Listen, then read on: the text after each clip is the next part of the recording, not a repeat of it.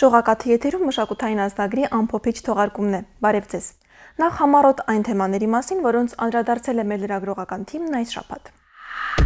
Իսպանացի գրող Գոնսալո Գուարչը հայոց ցեղասպանության մասին երագրություն է հեղինակել։ Գրքերից երկուսը թարգմանվել ու հրատարակվել են նաև հայերեն։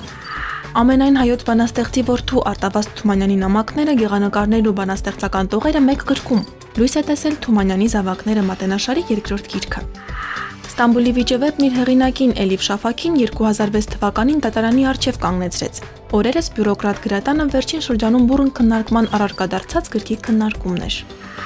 Ստեղծագործական ինչ փնդրտուքի մեջ էր Հարություն Կալենցը 1960-ականների շեմին։ Քաֆեսճան արվեստի կենտրոնում բացվել է Հարություն Կալենց գույնը ձևի մեջ ցուցահանդեսը։ Կիևում կայացած Վիդլունյա մոնո ներկայացումների միջազգային 15-րդ փառատոնից հայ դերասանները երկու պատվավոր մրցանակով են վերադարձել։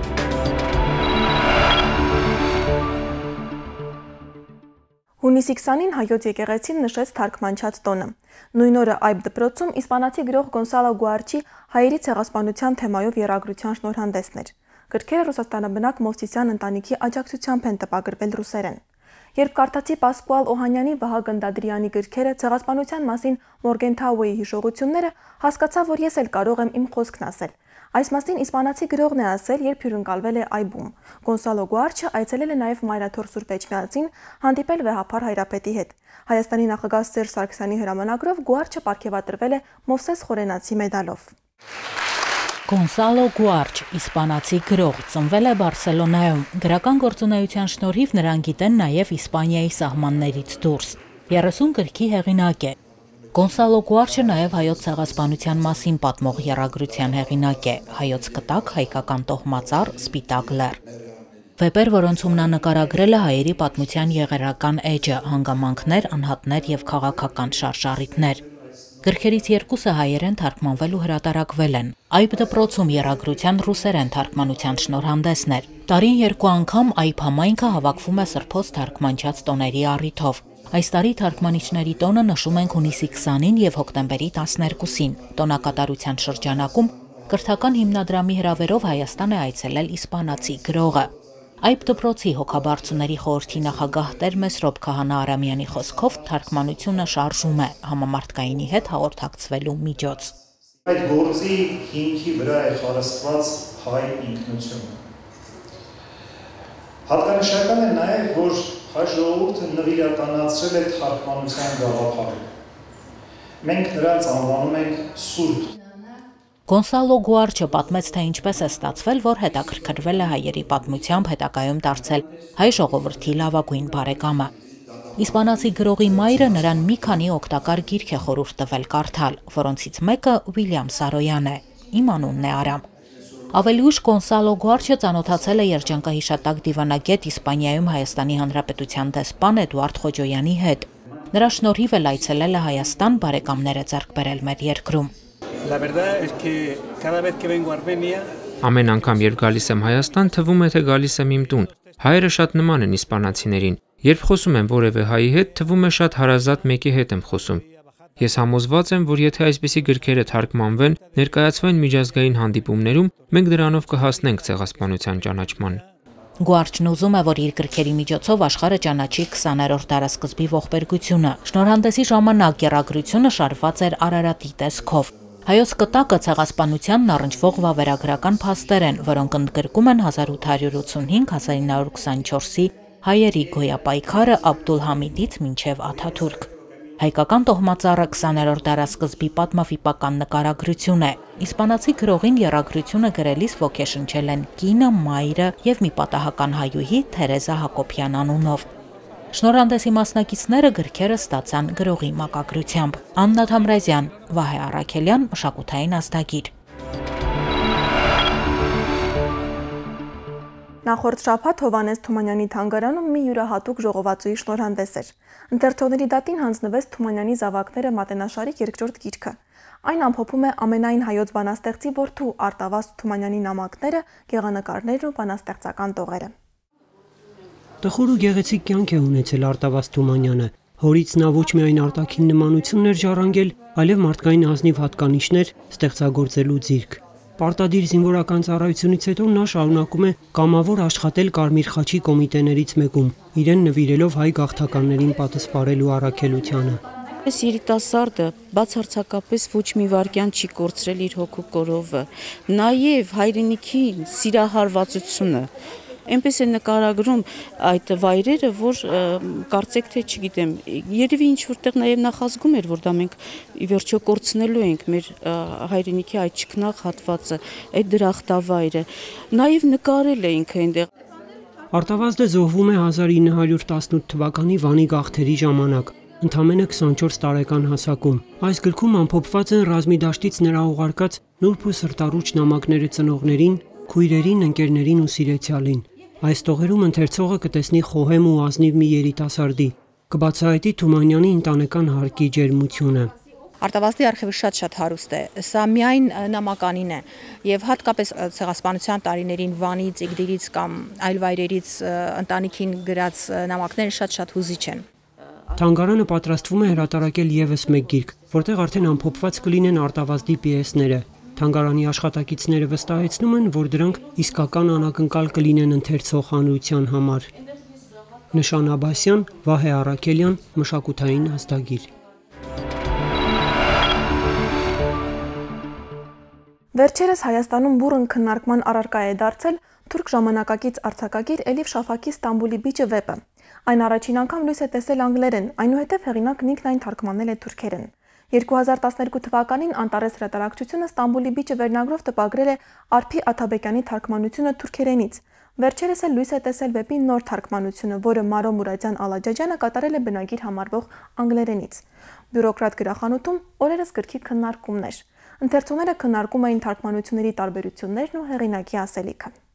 Սթափ հայացքով ու մեծ քաղաքի կոլորիտային մանրամասների վարպետորեն ներկայացմամբ Էլիֆ Շաֆակը վեր է հանում թուրք հասարակության ներքին բազմաթիվ խնդիրներ, որոնց թվում կարևորագույն տեղ է զբաղեցնում հայոց մեծ եղերնը, իբրև թուրքի հոգեբանության չհաղթահարվող բարդույթ։ Վեպը հեղինակին 2006 թվականին կանգնեցրեց դատարանի առջև։ Դատավարության պատճառն այն է, որ ստեղծագործության հերոսներից մեկն ապացուցում է, առաջին համաշխարհային պատերազմի ընթացքում տեղի է ունեցել հայոց ցեղասպանություն։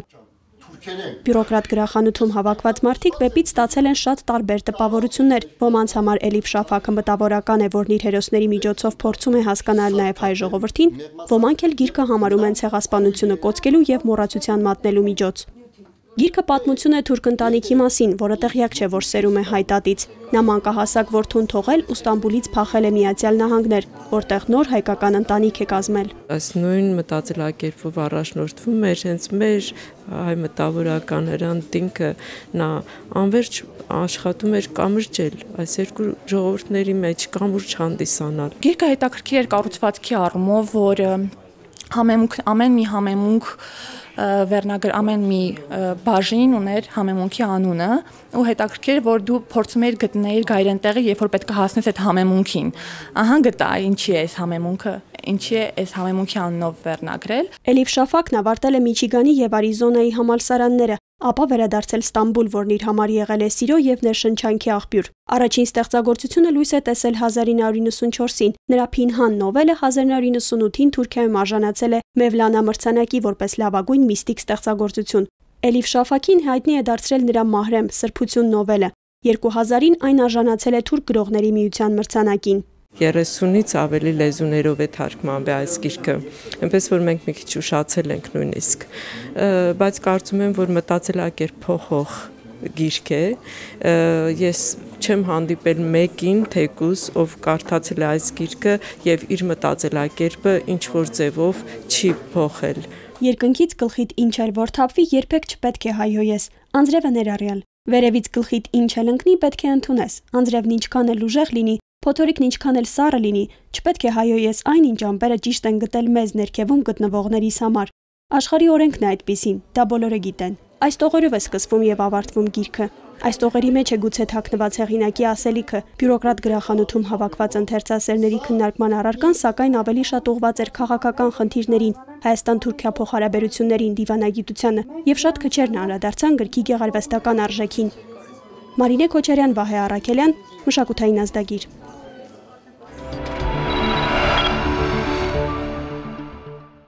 Գաֆեսյան արվեստի կենտրոնի նախաձեռնությամբ թանգարանի սրահներից մեկում բացվել է Հարություն Կալենցի աշխատանքների ցուցահանդեսը։ Ցուցադրված ընտրանին Կալենց թանգարանի հավաքածուից է։ Ցուցադրության համար ընտրվել է 18 գեղանկար եւ գրաֆիկական մի քանի շարք, որոնք ստացել են Հարություն Կալենց գույնը ձևի մեջ խորագիրը դրված կողք-կողքի եւ համախմբված կտավների այս ընտրանին հնարավորություն է տալիս տեսնել Հարություն Կալենցի ստեղծագործական փնտրտուքը 1960-ականների շեմին։ Նկարիչն արդեն հաստատվել էր խորհրդային Հայաստանում, ճանաչում ուներ, գնահատված էր, նաև քննադատվել էր խորհրդային կարգերի համար անընդունելի մոտեցումների պատճառով։ Այդ շրջանում կալենցը քիչ է նկարել, բայց այդ քիչ գործերի մեջ էլ հստակ է նկարչի հստակ ձևավորված լեզուն եւ իրականությունից վերջնական հերացումը դեպի պայմանականություն абստրակտ արվեստ։ Ամենարեալիստ նկարիչն ունեն մի абստրակտ շրջան, որտեղ ամեն ինչ պայմանականություն է։ Երբ որ ինքը հասունանում է եւ հասկանում է, որ ամեն ինչ թուղթ է եւ ոչ մի բանը ինչ որ կա, դա իրականություն չի, այլ քո ներաշխարի ցուցադրությունն է, դու ազատվում ես բոլոր կապանքներից եւ զբաղվում ես մաքուր արվեստով։ Ինքը հասավ այդ բանին, որ սիմվոլներով սկսեց խոսել եւ ոչ թե նյութական պրագմատիկ ճանապարհով ստեղծագործությամբ հաղթահարված ողբերգություն, իմաստուն գեղանկարչություն եւ մի փոքր բարդ ու խորհրդավոր կալենցիան աշխարհ մի մարդու, ով անցել էր Եղեռնի եւ Գաղթի միջով կորցրել ամենամոտ հարազատներին եւ հայտնվել որփանոցում։ Հարություն Կալենցը չի ունեցել ուսուցիչներ մանկատնից դուրս գալով 12 տարեկանում ինքնուրույն սկսել է նկարել։ Հետո պատահաբար նկարչության մի քանի դասի մասնակցելով հասկացել է ինքը գտել է իր ուղին։ Ամենակարևորը, որ Հարություն Կալենցը գտավ իր հայրենիքը, վերադարձավ Լիբանանից Հայաստան եւ շատ դժվարություններ հաղթարեց,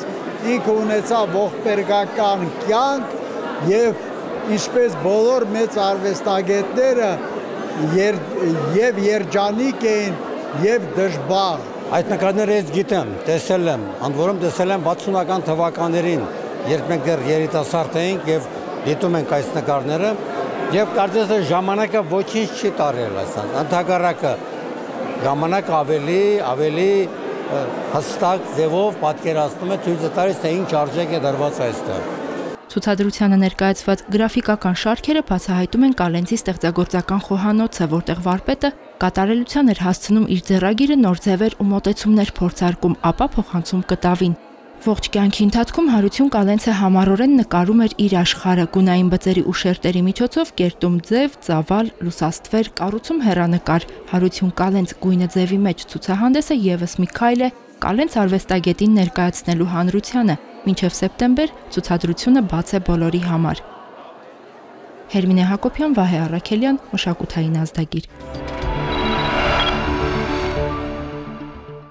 Հունիսի 11-ից 16-ը Կիևում կայացել է Վիդլունյա մոնոներկայացումների միջազգային 15-րդ փառատոնը, որին մասնակցում էին 8 երկրներից ժամանած դերասաններ։ Հայաստանը միջազգային այս տուգատեսից միանգամից երկու մրցանակով է վերադարձել։ Նախորդ շաբաթ Թատերական գործիչների միությունում դրան նվիրված ասուլիս է կազմակերպվել։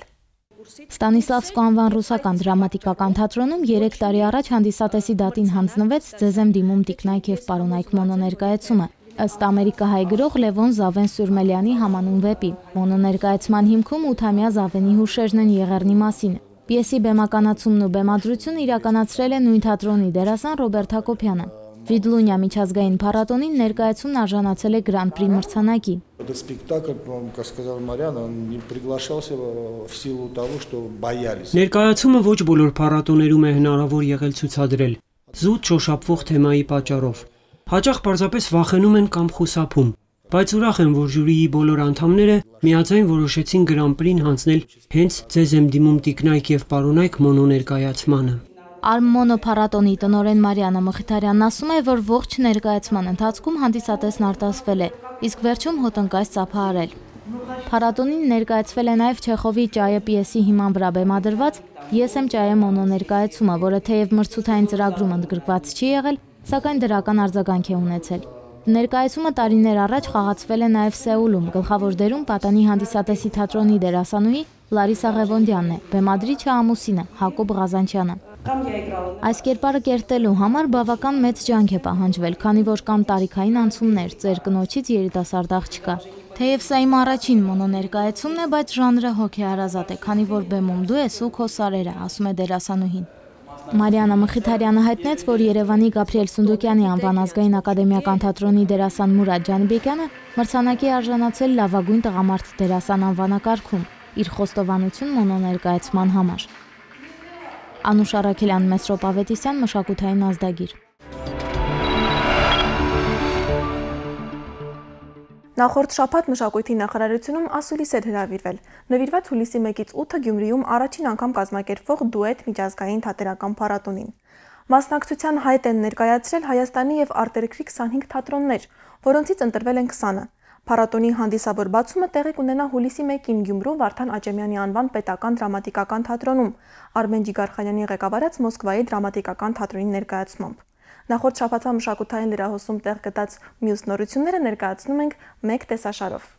Կառավարության հունիսի 29 նիստում որոշվել է, որ կառավարության ծրագրով այս տարի եւս 11 հուշարձան կվերականգնվի։ Ցանկում տեղ են գտել Արագածոտնի մարզի Իրին գյուղի Սուրբ Աստվածածին եկեղեցին, Լոռու մարզի Սանահինի վանքը, Կոտայքի մարզի Բջնու ամրոցը, Սյունիքի մարզի Որոտնավանքը եւ այլ հուշարձաններ։ 2013 թվականին պետբյուջեի հուշարձանների ամրակայում նորոգում եւ վերականգնում ծրագրով նախատեսված պատմաճարտարապետական 11 հուշարձանների յուրաքանչյուրի նախագծերը կազմող վերականգնող տարածքի պեղումն իրականացնող կազմակերպությունը կընտրվի մրցութային կարգով։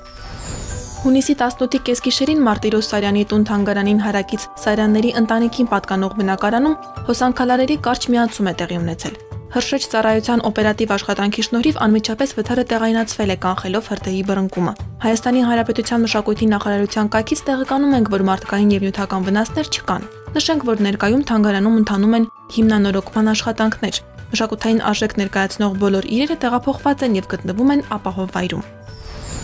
2009 թվականից Հովանես Թումանյանի թանգարանի նախաձեռնությամբ իրականացվող Երկնքից 3 խնձոր ընկավ հեքիաթասացության եւ բարբարի փառատոնի ծրագիրը հաղթող է ճանաչվել թանգարանների միջազգային կոմիտեի ԻԿՈՄի գագաթնաժողովի շրջանակներում Կրթության եւ մշակութային գործունեության միջազգային կոմիտեի հայտարարած 2013 թվականի լավագույն փորձ մրցույթում։ Երկնքից 3 խնձոր ընկավ հեքիաթասացության եւ բարբարի փառատոնը մրցութային ժյուրիի որոշմամբ ընդգրկվել է 5 լավագույն փորձ ծրագրերի շարքում։ Հաղթող ճանաչված ծրագրերը կհրատարակվեն Իկոմսեկայի 2013 թվականի տարեգրքում։ Մրցանակները կհանձնվեն 2013 թվականի օգոստոսի 11-ից 17-ը Բրազիլիայում կայանալիք Իկոմի գագաթնաժողովի ընթացքում։ Հունիսի 17-ին Եվրախորհրդարանում ցուցադրվել է շվեդահայ ռեժիսոր Սյուզան Խարդալյանի Մեծ մորը ստաճվածքները ֆիլմը։ Ցուցադրությունն իրականացվել է հանուն արդարության եւ ժողովրդավարության Եվրոպայի հայկական ֆեդերացիայի եւ Եվրախորհրդարանի падգամավորների աջակցությամբ։ Կինոռեժիսորը ֆիլմում արծարծում է մեծ եղեռնի ականատես կանանց դաջվածքների թեման։ Կապույտ նշաններ, որոնք քուրդ եւ թուրք զինվորները հայ կանանց եւ աղջիկներին բռնաբարելուց հետո դաջել են նրանց վրա։ Նշենք, որ Սյուզան Խարտալյանի ֆիլմը ցուցադրվել է աշխարհի տարբեր երկրներում, այդ թվում Թուրքիայում։ 2012 թվականի հունվարի 12-ից 18-ը ֆիլմը ցուցադրվել է նաև արաբական հեղինակավոր Ալ Ջազիրա հերոստալիքով։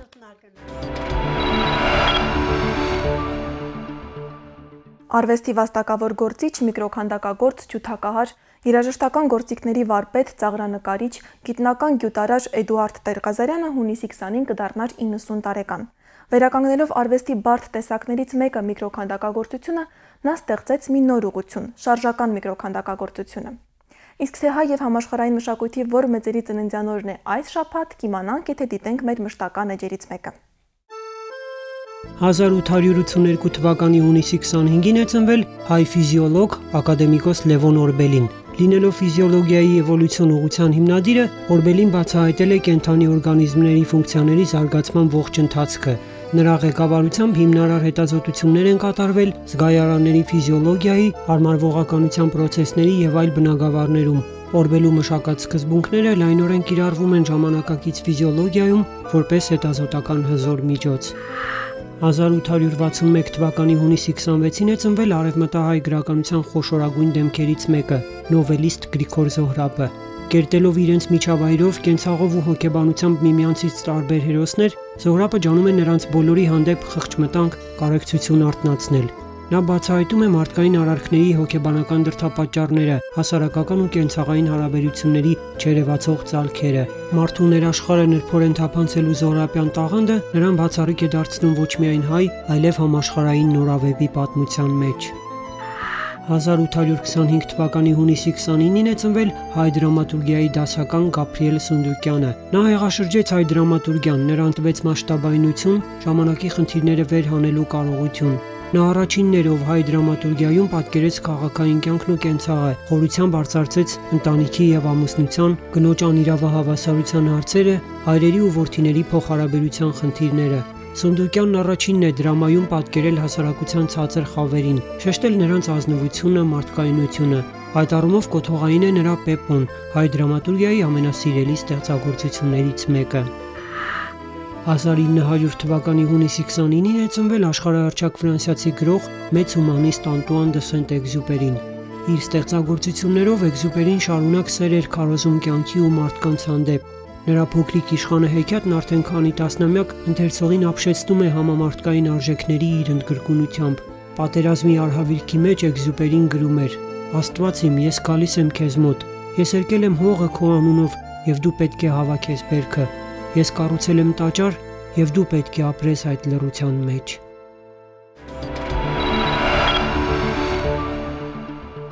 Այս թողարկման համար այսքանն ենք պատրաստել։ Մեր հաջորդ հանդիպումն ուղիղ 1 շաբաթից է։ Մինչ այդ շողակաթի եթերում կարող եք դիտել մշակութային իրադարձությունների մասին պատմող մեր առանձին ռեպորտաժները, որոնք կամփոփենք ու կներկայացնենք երկուշաբթի օրը մեր նոր թողարկման ընթացքում։ Արդյունավետ ու հետաքրքիր շաբաթ եմ մաղթում։ Ցտեսություն։